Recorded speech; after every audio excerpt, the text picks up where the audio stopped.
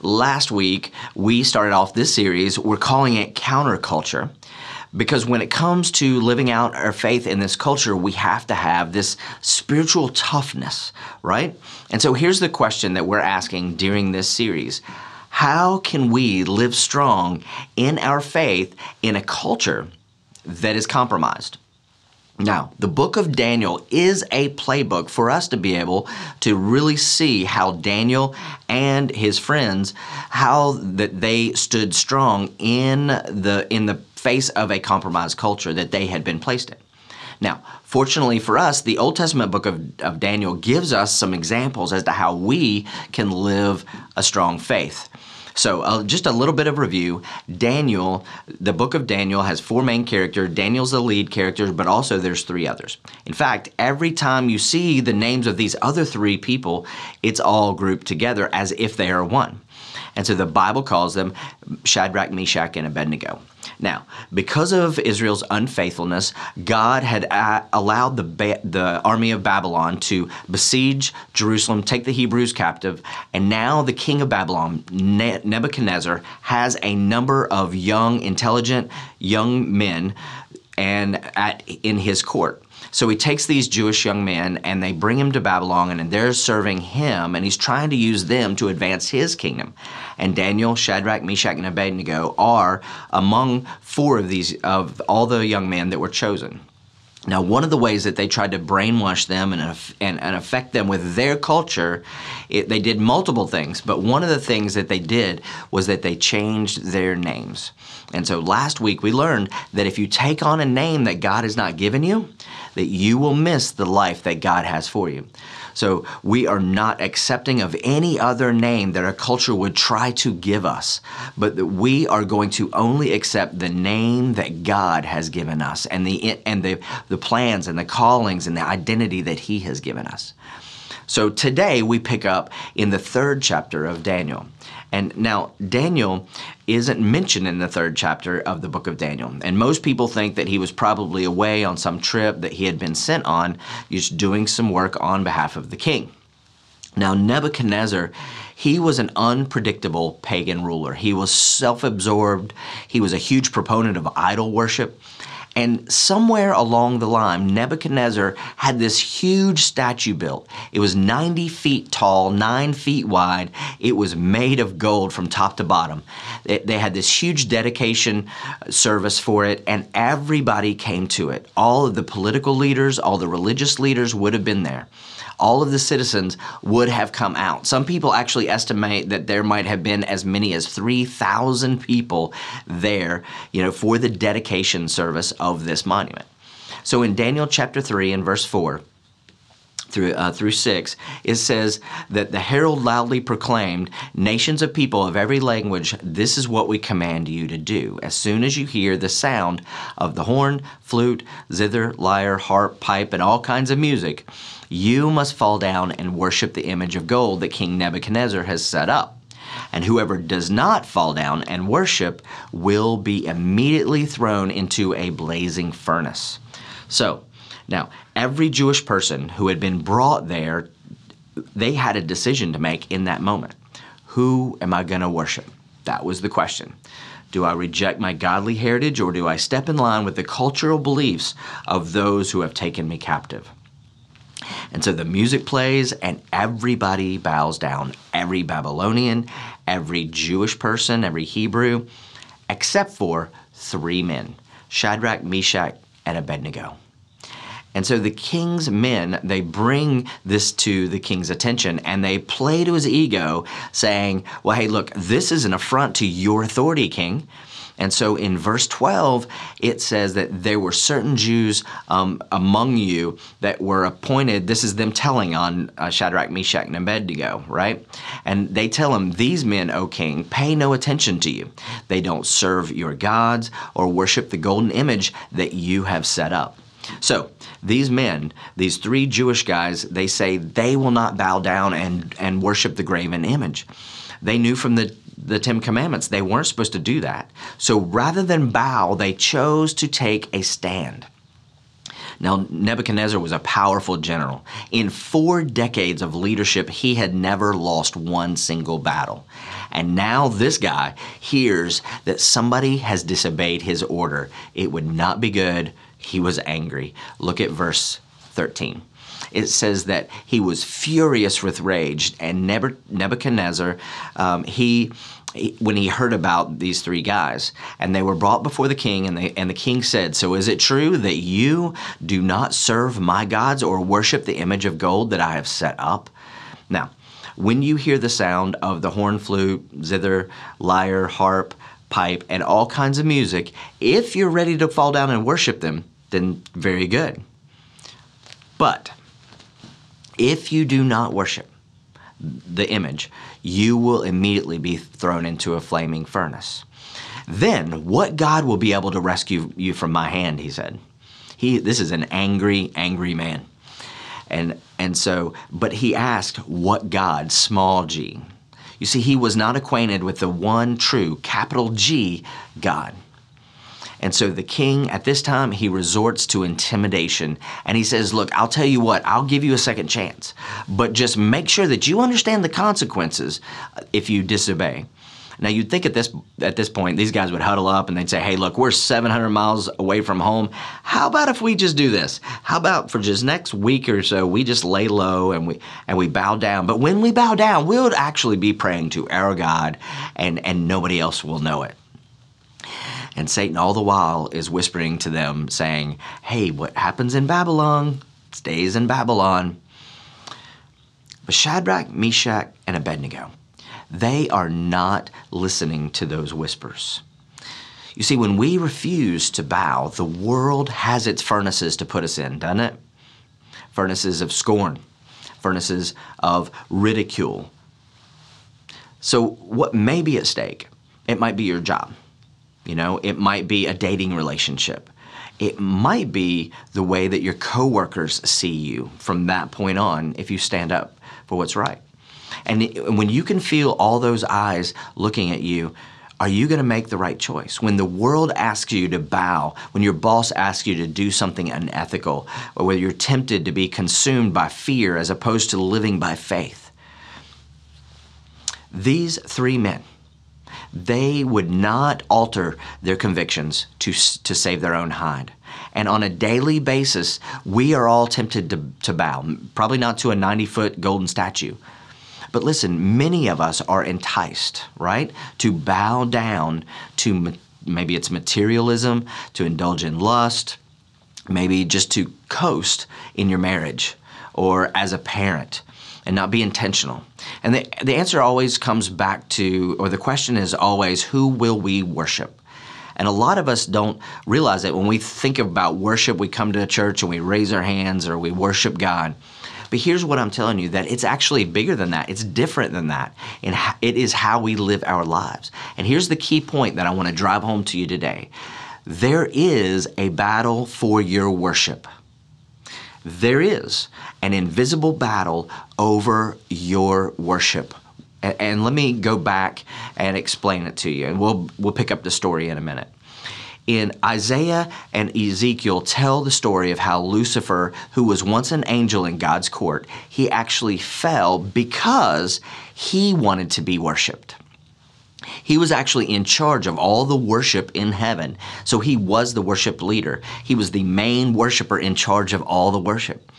But one day, Isaiah 14 says that he decided that he wanted all that worship for himself. Five times in the book of Isaiah, he says, I want to be praised. I will be lifted up. I will be excelled. He wanted to be he wanted to be higher than God. And that didn't go over too well with God. So God, God cast him from heaven to earth. And most scholars actually believe that it happened between Genesis 1 1 and 1 2, because it says, In the beginning, God created the heavens and the earth. So therefore, everything would be perfect because God's perfect.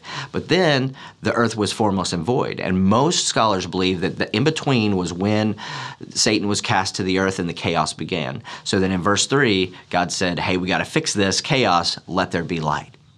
See, one of the things that God did as far as putting things back into order was He created you and me with this unique, unique distinction.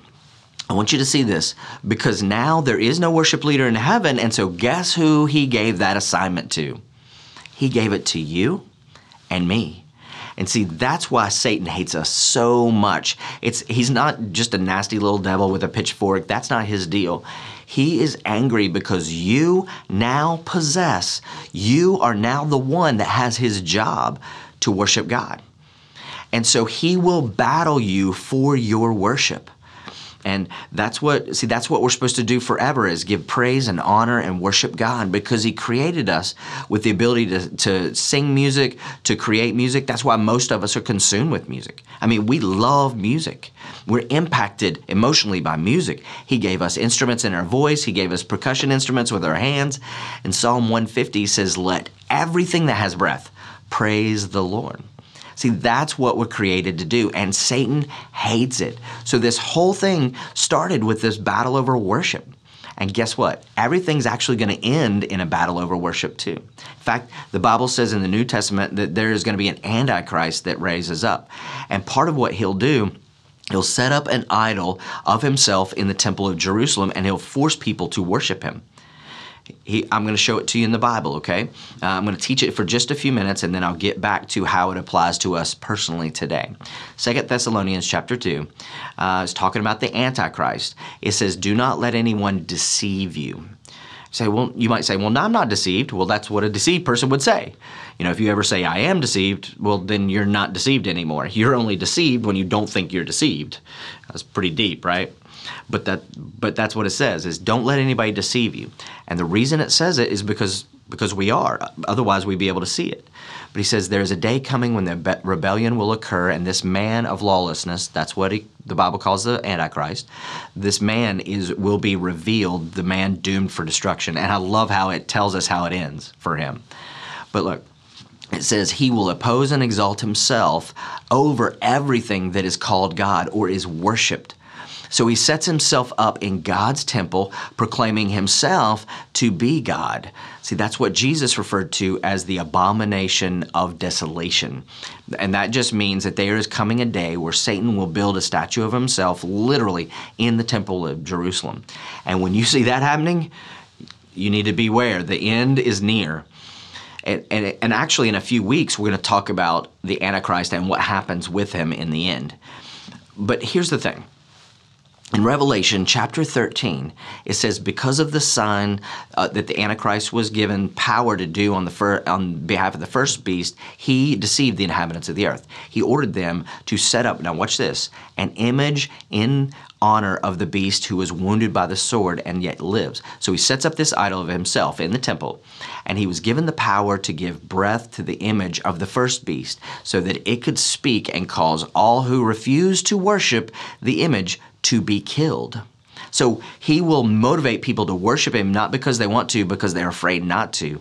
So he forced everybody, you know, big and, little, rich and poor, to receive a mark on his right hand and on or on his forehead. So you've got to wear the mark of the beast on one place or the other if you're going to buy or sell. So you can't buy anything. This becomes the currency. And so, in the name of the beast or the number of his name, 666, the Bible describes it later, is this mark that you'll take on.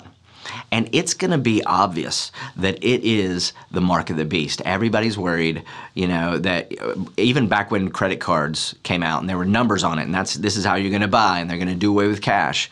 And oh wow, that must be the mark of the beast and then when they put you know you could buy things with your phone you know and you know that's a phone in your hand and you're buying and selling that's the mark of the beast or now we have vaccination passports and people are asking is that the mark of the beast well here's the thing it is going to be an obvious choice for you to worship that instead of God, for you to take the mark. You're not going to die and then wake up in heaven and God say, Oh, sorry, credit cards were the mark of the beast. You got tricked. You're out.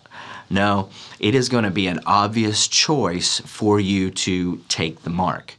Just like this was an obvious choice for Shadrach, Meshach, and Abednego to bow down to this idol. And it's nothing more than a battle for your worship. Satan, he just wants you to worship anything other than God. So he will cause you to find things that you think are worthy of worship That's why we have, you know, this this huge hedonistic society today, which means that you determine what's what's good based upon your feelings. You know, it's like, well, that's just the way God made me, and that's the way I feel. Don't judge me. That's just the way I feel. You believe what you want to believe. I'll believe what I want to believe. And so that's the way, you know, we're going to play. Everybody's just going to do what's good based upon their feeling, and we're not going to have any standard anymore. That is literally the culture that we have right now. And we even have churches that are following suit.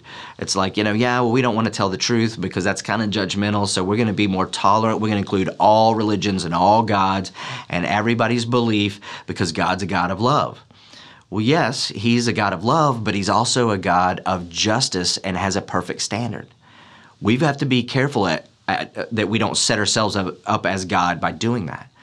Here's the thing: is Satan doesn't want anybody to or anybody but him to get worship. He doesn't want God to have your worship. He wants to redirect it to anything else: sports, shopping, hunting, business, career, money, power, lust. Uh, listen, I'm telling you, it is a trick of the devil to get you off of worshiping the true living God. He is the only one worthy of our worship. It's a trick, and it will be a last day's test. There is a battle for your worship. So, back to the story. Daniel 16 or 316, what do these guys do? Shadrach, Meshach, and Abednego. They reply to the king, O Nebuchadnezzar, uh, we don't need to defend ourselves before you in this matter. I love that response.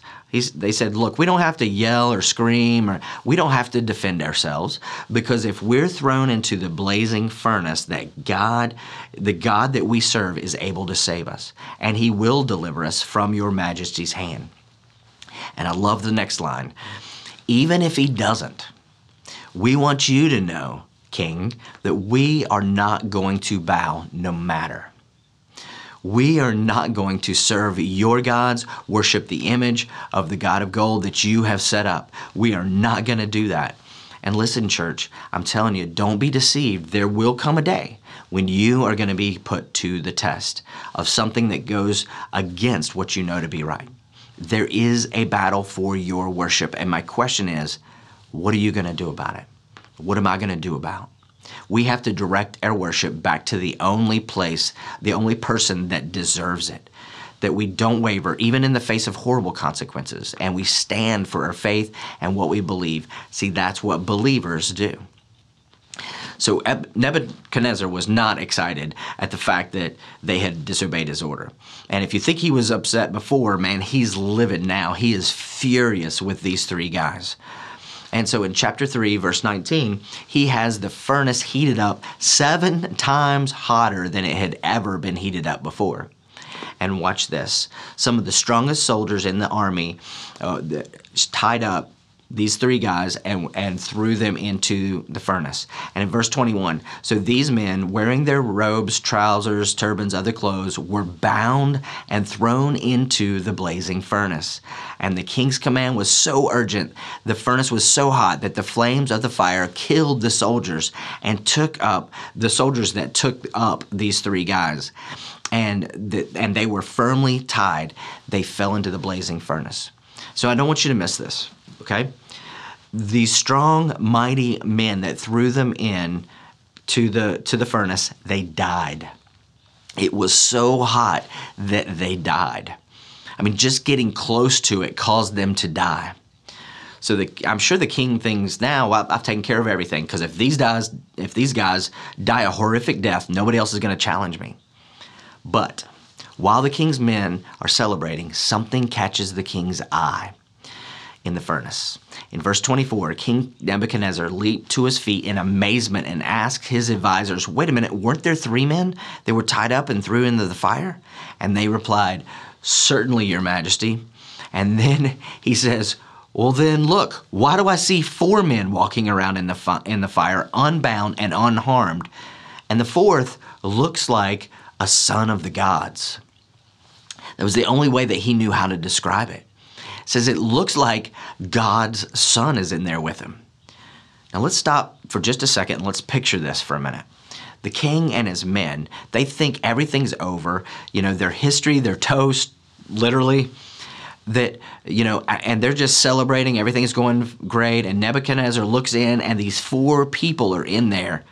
And somehow the only thing that burned up were the ropes that had them bound. So they're moving around freely, they're having a blast, they're singing, We didn't start the fire. Okay, sorry, bad preacher joke. I don't know what they're doing in there, but they have got to be having the time of their life because the Son of God is in there with them. So watch this in verse 26. Nebuchadnezzar is going to approach the, the opening of the blazing furnace and shout, Shadrach, Meshach, Abednego, and Son of the Most High God, come out. And they walk out of the furnace. And I guarantee you that in this moment, all the men, all the people, the court that's there, that's crowded around them, including King Nebuchadnezzar, that they would just pause, shocked, frozen. And I'm sure everybody crowds around them, and the Bible says that the fire had not harmed not a hair on their body, that their robes were not scorched, they didn't even smell like fire. Let me tell you, when God steps in, he does not mess around. And it says that the king, he totally and completely changes his tune. And he says, Praise be to the God of Shadrach, Meshach, and Abednego, who has sent his angel and rescued his servants. And get ready for this because this next verse, it will motivate us to make sure that God is a priority and that we worship Him and Him alone this pagan king in verse 29. Watch this. He says, Therefore, I make a new decree, a new law, that any people, nation, or language that speaks anything against the God of Shadrach, Meshach, and Abednego will be cut into pieces, and their, and their houses will be turned into, into rubble because there is no other God that can save this way. He's still violent, but talk about a transformation the decree for the whole nation is totally changed because of three men who refused to bow and worship anybody else but the one true God. And I imagine that that week in Babylon, on Craigslist, there was an ad for a 90 foot golden statue, slightly used. Nebuchadnezzar, he changed everything not because of a social media campaign or a majority vote. You know what changed his mind? Because of bold, uncompromising faith of three men that, who stood together in the face of death. There was a battle for their worship, just like there is a battle for your worship. And they stood strong in what they believed, and they changed a nation. And I wonder what's on the line in our nation in our workplace, in our school, in our neighborhood. If we would just have the courage and boldness to stand for God, man, that could be a game changer for the world that we live in today. 1 Peter chapter 4, 12 says, Beloved, don't be surprised at the fiery trials when it comes upon you to test you, as though something strange were happening to you. Don't be surprised. Here it is in the New Testament, and it gives us this phrase, fiery trial, that just begs us to look back at this story in Daniel chapter 3. You see, we're all in a fiery furnace with something that's going on. And so here is the bottom line of this message that the ultimate battle in the last days and in your life is going to be over what you worship. That is the last great test of your life. The greatest test of our culture do we have the guts to love our God and stand for what we believe in no matter what? So, I mean, how do we know? Like, if we were to give ourselves like a test, you know, or a quiz, you know, individually, a worship checkup, you know, what would that look like? Well, I just want to submit to you that Jesus is the standard, and he gives us one powerful verse where literally he tells us that the whole Bible is summed up in this one single command. Scholars call it the Great Commandment and it's found in many places, but in Mark chapter 12, verse 30, Jesus said, Love the Lord your God. Well, how, Jesus? Well, define it for us with your whole heart and soul. That's the first way. You want to love God, worship God? Where is your heart and soul? Then he says, I want you to worship the Lord your God with all of your mind. Well, how do you do that? We'll talk about that in a minute. And then I want you to love the Lord your God with all of your strength, your heart and soul, your mind, and your strength. So let's give every one of us, myself included, just a little worship checkup. Let's see if we are a part of the deceived. And, and, I think all of us can be subject to it and not even know it. We just don't see it. And that's why we have prophecy and preaching, and that's why we have God's Word to bring us in line and to warn us and encourage us and to inform us. And that's what I'm trying to do today. So, what's heart and soul? I want to say that heart and soul just means your affections, it's your emotions. The question is very simple Where are your emotions going? Where are your emotions going? Let me ask it this way What do you love the most? What are you expressing love for the most? You know, one of my personal pet peeves is how some people have just tamed down worship over the centuries right now if you ask the average person you know what does the bible say about worship you know well they would say oh well it's kind of quiet and reverent and you just bow your head kneel maybe cry man, you can't find verses that say that in the Bible. They don't exist. The Bible says that there was shouting, clapping, lifting up of hands, dancing. I mean, it, it really would have looking, looked like a sporting event that we might attend. And if we're not careful, we'll allow the passions of our lives to actually overstep our worship for God and our passion for God.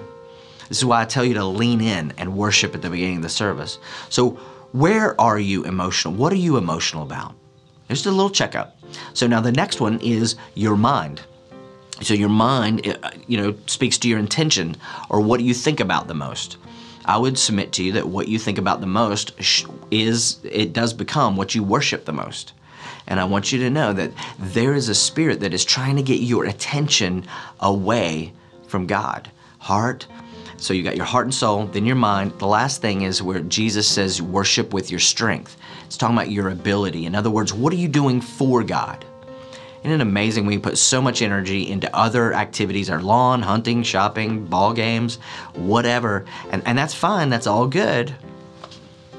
But God says you can have other loves, just don't have any other loves above me. So the question is, what are we doing for God? And is that a priority in your life? That's why we give you opportunities to volunteer and serve in the house of God. See, the battle in the last day is going to be for what you worship. And the book of Daniel gives us this prophetic story of what the last days will look like. And it is so that we it will alter the courses of our life to serve him. Now, you don't need me to tell you what you worship and what you don't. The Holy Spirit is there in you, and He will put a finger on what's in your life that maybe you're worshiping above Him. Because we're all worshiping something. Everybody that's watching, watching is a worshiper. But the question is, is God getting that worship? And not just is God getting it, but where, where does He place on your list? See, we're notorious, especially in the, in the Bible Belt, to make sure God's involved in our life. But sometimes we don't give God the best of our life. We compartmentalize, compartmentalize it all and we give Him an hour on Sunday. And God desires more than that. He wants our whole life. 2 Corinthians 16 9 says, The eyes of the Lord range through the earth to strengthen those whose hearts are fully committed to Him. He is looking for people to worship Him, that worship Him. There is a battle for your worship. So, you know, we need to decide what we're not going to worship, but we also have to decide who will we worship. And I'm declaring that as for me and my house, we are going to serve the Lord. We're going to give Him the best of our affections, the best of our intentions, and the best of our abilities. Every one of us, all of us, that's what we need to do. Let me close with this verse and then we'll pray. Jesus says this in John 4. He says, There's a time coming and guess what? It's already come. When the true worshipers will worship the Father in spirit and in truth, for they are the kind of worshipers that God right now is looking for. My challenge to all of us is this be that person. Have you allowed your worship to go in another direction? You know, do you you have a course alteration opportunity today? Maybe God's on your list but not at the top of your list. Where is he today?